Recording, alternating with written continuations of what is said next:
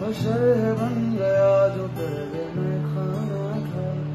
वो घर है बन गया कि अब तो साकी रही का हिसाब ना रखा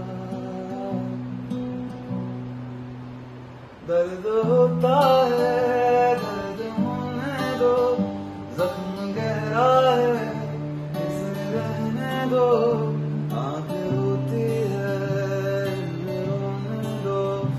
प्यार आई है